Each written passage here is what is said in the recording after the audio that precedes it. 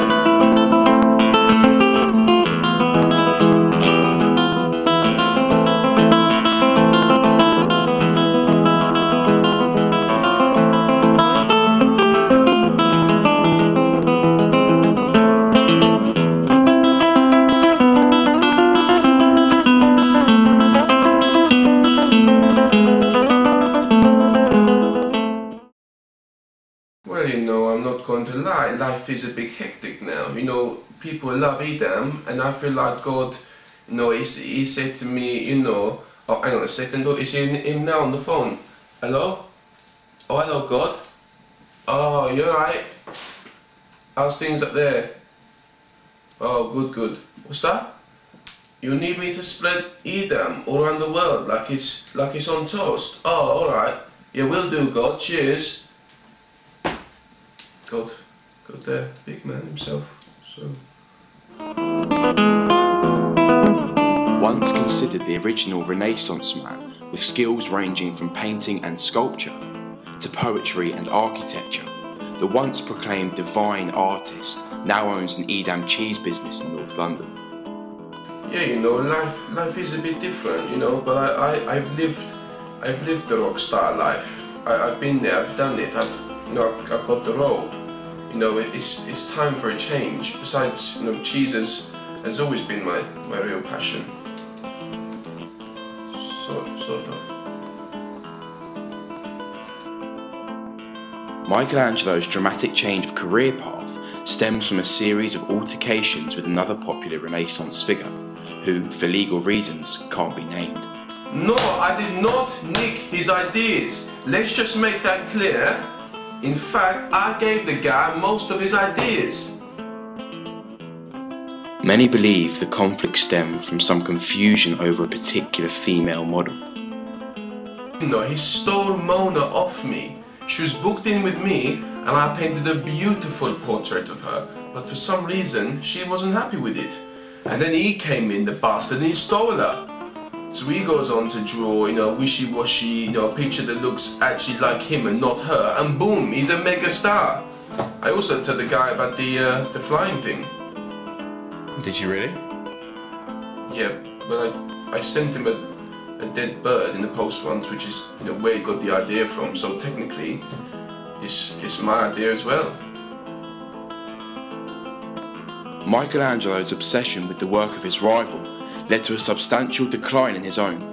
He missed deadlines, left jobs half done, and began sending the Pope hate mail. Yeah, you know that Pope and, the, and that other guy, they made a deal. I know they did. They made a deal to get me out of Rome. They were jealous. Definitely jealous. Michelangelo then fled to England, where he turned his back on the arts and flitted from job to job. Yeah, you know, I uh, I worked in the call center for a while. I was uh, a shopping assistant at Primark, and um, I also did a did a stint at Greggs. It was at Greggs where Michelangelo realised his true passion for catering, namely cheese production.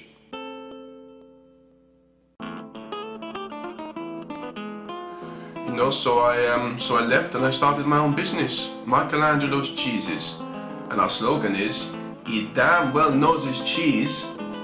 You get it? Because he damn and that's what we do. So.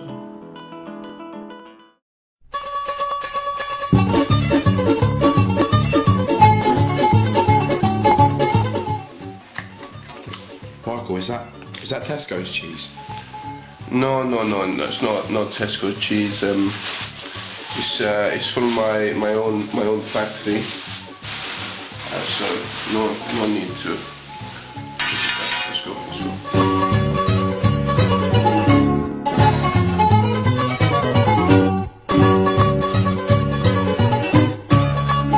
So, so Michael, um, where are we off to now?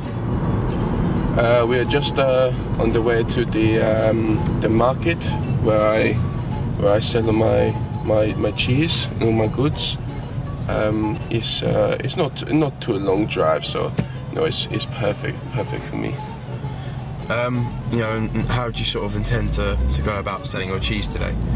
Well, um, I usually I usually have a big stall. You know, I usually have you know, you know loads of people around it, and you know that I'm quite well known around the area. But um, today I, I do not have my stool. Um, they they take it away from me uh, because um, because I, I sell too too much of the cheese, and everyone everyone around gets a bit angry.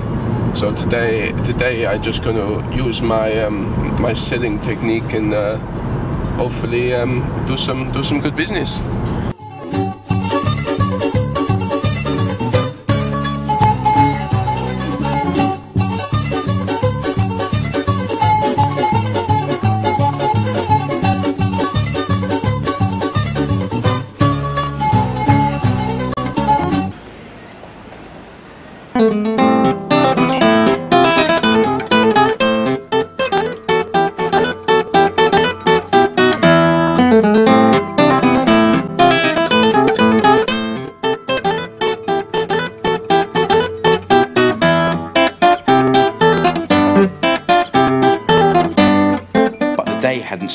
Too well for Michael and his cheese.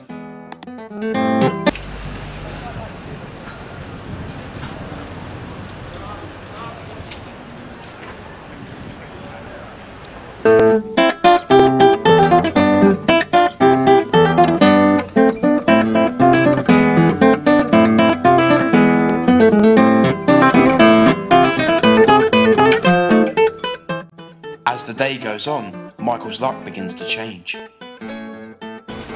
Oh, why? Are you giving it away?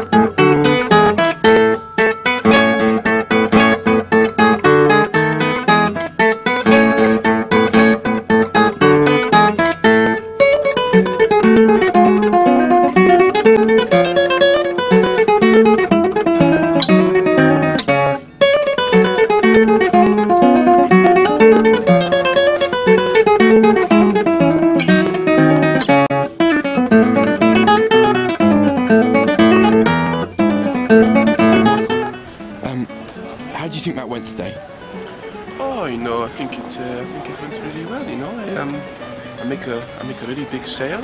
Um, sort of very very very happy about that. But um, it, it looked like he didn't even buy that from you, Michael. Did you give him that for free? No, no, no, no. Eh, I can see I can see how you would think that, but uh, I um he, he paid me he paid me last week, so I I um How much are you charging for that piece of Edam he paid you last week for? I, I don't I don't think that's in, that's important.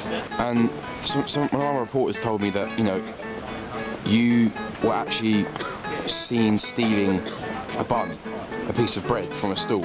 No, no, that is that is absolute lies. I turn the camera off. I don't want any part of this.